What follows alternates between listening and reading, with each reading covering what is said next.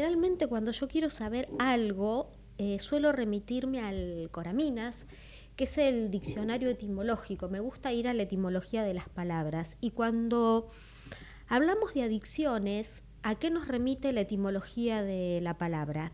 Que mm, adicciones deriva del latín adictus, que significa adjudicado o heredado. ¿Y esto por qué? Mira, te cuento, Jorge, después de una guerra, los romanos hacían una especie de subasta y regalaban esclavos a aquellos soldados que habían tenido un buen desempeño eh, en el frente de batalla. Estos, estos esclavos que regalaban eran conocidos como adictus. De allí se desprende eh, esta definición, que adicto es un esclavo a algo o de alguien. Otra definición, y confieso, confieso que es una de las que más me gusta, responde a una línea teórica de la psicología y ¿qué es lo que vemos? Adicto eh, está compuesto por el prefijo a, que en este caso es una negación, y dictus es lo dicho. Con lo cual, para eh, la psicología es algo que no se ha podido decir, es algo que no se ha puesto en palabras, y podemos decir que por donde no circulan las palabras, hay mayor posibilidad de que empiecen a circular las sustancias, tanto legales como ilegales. Entonces, toda esta introducción la hago porque tengo el honor de recibir eh, a alguien que, bueno, yo creo que es el número uno en el país hablando de, de estas temáticas. Está en línea el doctor Guido Bergman, que es médico cardiólogo, especialista en prevención cardiovascular y adicciones. Él asesora a familias e instituciones educativas para la prevención del consumo en adolescentes. Así que le doy la bienvenida. Buenas tardes, Guido. Guillermina Rizzo te saluda. Hola, Guillermina, ¿cómo estás? Bien. Este, un gusto saludarte. Ahora tengo que estar a la altura con lo que dijiste. No, yo sé que... Este, bueno, yo armé toda esa, toda esa introducción para estar a la altura porque yo sé lo que se viene en esta entrevista.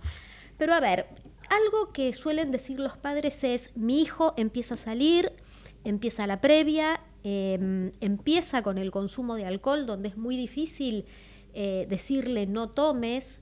Días pasados un colega tuyo, Adrián Baranchuk, decía hay que empezar a establecer negociaciones y sabemos que a veces el consumo de alcohol trae, em, digamos, de manera eh, colateral eh, el consumo de sustancias. Un chico te dice un porro no me hace nada y, así se empieza. ¿Qué le decís vos a esos padres?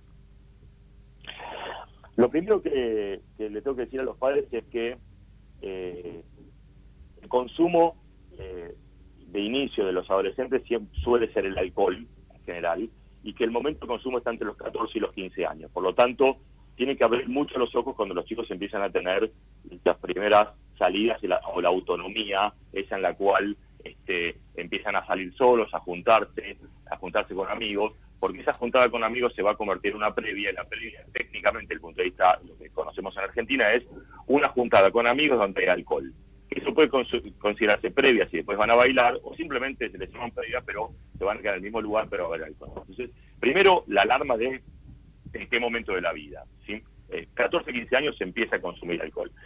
Las personas en general pueden tener como puerta de entrada el alcohol este, y después avanzar a otras drogas, pero convengamos que la droga que más se consume en la adolescencia es el alcohol. Después, obviamente, que si el entorno es desfavorable y tienen que, con quien se juntan, este, va a poder haber otro tipo de sustancias. Entonces, lo segundo que diría a los padres es, tenemos que saber con quién se juntan nuestros hijos. ¿Por qué? Porque cuando analizamos las causas de inicio del consumo de nuestros hijos es porque consiguen, es porque están, tienen cierta expectativa del efecto, pero principalmente porque se juntan con gente que consume. Entonces, si un, yo tengo un hijo que se va a juntar con gente que consume, no es 100% que vaya a consumir, pero es mucho más probable. Por lo tanto, tengo que estar alerta porque los chicos se manejan en grupo, se influencian en grupo, las conductas de los chicos están influenciadas por sus pares y si tiene un grupo o un entorno que consume, es mucho más probable que el chico empiece a probar o a ver de qué se trata eso. ¿De acuerdo? Es muy poco probable que un adolescente consuma alcohol, por ejemplo, estando solo. Es casi imposible. Entonces, eh, el tema es que tenemos que saber con quién está. Y después, lo que tenemos que saber es que nuestros hijos van a querer experimentar cosas, van a tener que, van a querer este, este, transgredir, pero bueno, ahí está nuestras habilidades como padres para poder ver cómo nuestros hijos internalizan la norma y empiezan a elegir, no obedecer, y fíjate la diferencia que hago, no que hagan caso los chicos, sino que elijan internalizar lo que nosotros les pedimos para que se, se comporten de manera más, más responsable o más acorde a este, a su salud. Lo que pasa es que eso requiere un esfuerzo de los padres y no es tan fácil. Y ahora eh, me das pie para la segunda pregunta, Guido, porque yo lo que observo son dos conductas. A veces un padre o una madre le dice al hijo, no tomes, pero él está con el vaso o la lata en la mano, ¿no? Y también a qué edad empezar a prevenir, porque si cuando empieza a ir a la fiesta de 15, yo ahí le digo, me parece que estoy llegando tarde. Desde tu lugar de especialista, ¿cuál es la edad indicada para empezar a hablar de estos temas? A ver, acá hay un punto muy importante. Lo que vos dijiste es algo que voy a hacer una pequeña diferenciación. De todas las drogas que se consumen en el mundo, la única droga que un adulto puede consumir todos los días, ¿sí? un poco, en poca cantidad, y que no le genere aumento de la mortalidad es el alcohol. ¿sí?